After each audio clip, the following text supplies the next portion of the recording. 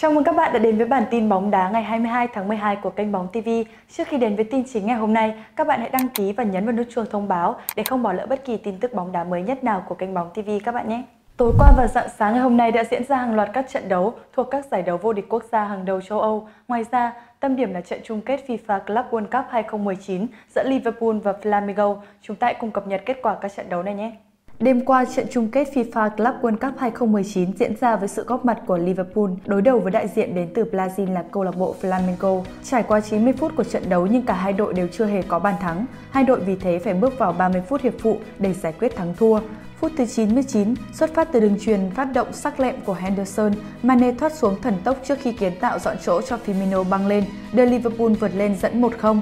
Ở tình huống này, Firmino còn bình tĩnh đi qua thủ môn trước khi nắn nót dứt điểm ghi bàn thắng quyết định của trận đấu. Những phút còn lại, hai đội thi đấu rằng co và Liverpool giành chiến thắng chung cuộc với tỷ số 1-0.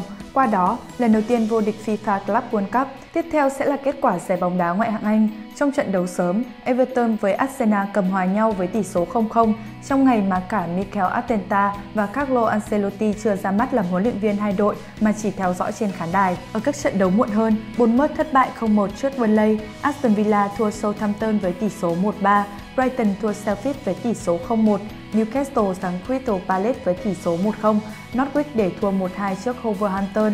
Ở trận đấu muộn nhất là trận tâm điểm giữa Man City với Leicester. Tuy nhiên, Man City đã dễ dàng đánh bại Leicester với tỷ số 3-1, qua đó giành chọn 3 điểm trên sân nhà. Man Xanh đã rút ngắn cách biệt với chính Leicester xuống còn 1 điểm và với Liverpool là 11 điểm.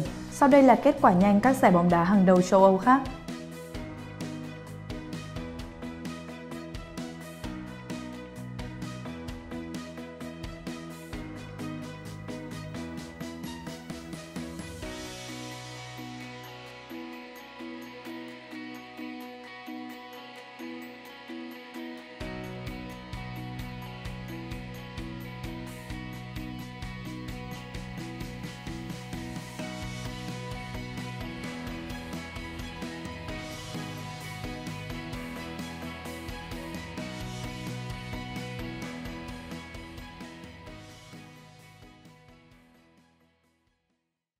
Như chúng ta đã biết, Ancelotti đã bị Napoli sa thải hồi đầu tháng và được xem là ứng viên cho vị trí huấn luyện viên của Arsenal cùng Atenta.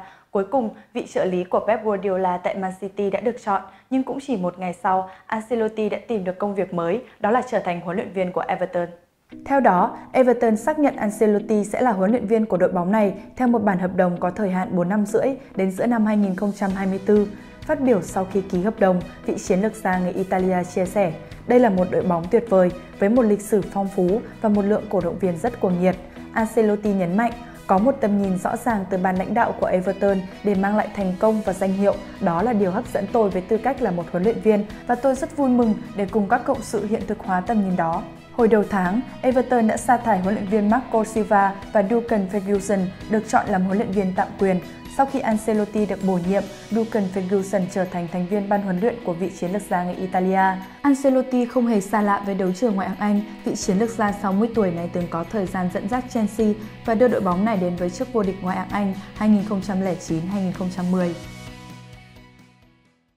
Sau trận hòa 0-0 trước sinh viên Đại học Yongnam, U23 Việt Nam tiếp tục có trận đấu tập thứ hai trong chuyến tập huấn tại Tongyong, Hàn Quốc. Đối thủ lần này của thầy trò huấn luyện viên Park Hang-seo là đội bóng ở giải hạng 3 Busan Transportation Corporation.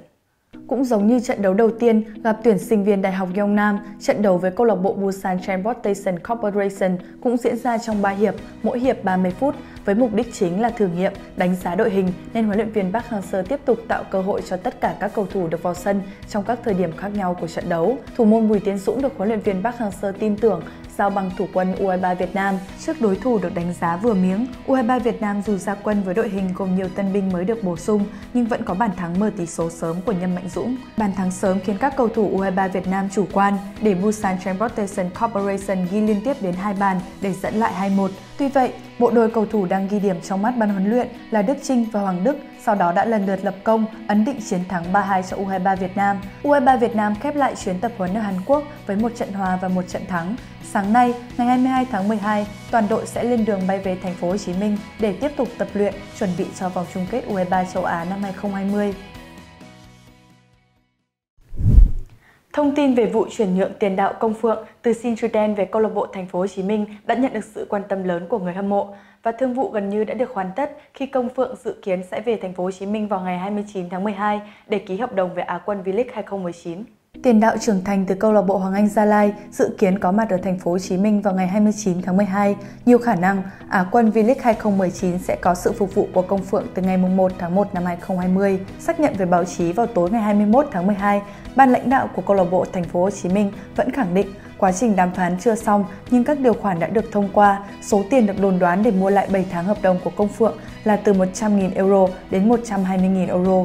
Lúc này, các bên chỉ còn phải chờ đợi thị trường chuyển nhượng mùa đông mở cửa vào ngày 1 tháng 1 năm 2020 để nộp các giấy tờ liên quan lên hệ thống của FIFA Transfer Mark System.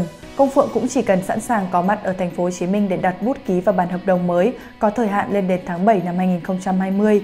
Sau đó, câu lạc bộ Thành phố Hồ Chí Minh sẽ tiếp tục làm việc với Hoàng Anh Gia Lai để có thể mượn tiếp cầu thủ sinh năm 1995 ít nhất là đến cuối năm 2020. Phương án này hiện tại chưa thể thực hiện do câu lạc bộ Thành phố Hồ Chí Minh chưa có giấy tờ chuyển nhượng của Công Phượng. Về cơ bản, Hoàng Anh Gia Lai hiểu mong muốn của đội chủ sân thống nhất nhưng còn phải xem cầu thủ của mình thể hiện thế nào ở đội bóng mới. Lãnh đạo của câu lạc bộ Thành phố Hồ Chí Minh tiết lộ, thương vụ sẽ chính thức hoàn tất vào thứ hai, ngày 23 tháng 12. Đây là một trong hai thương vụ mà đoàn quân của ông Chung Hae Song thực hiện ở đầu mùa giải V-League 2020. Trước đó, đội bóng đã có thủ môn Bùi Tiến Dũng trong 3 năm. Cảm ơn các bạn đã theo dõi bản tin bóng đá ngày 22 tháng 12 của kênh Bóng TV. Các bạn đừng quên like, share và đăng ký kênh Bóng TV để cập nhật được những tin tức bóng đá mới nhất nhé.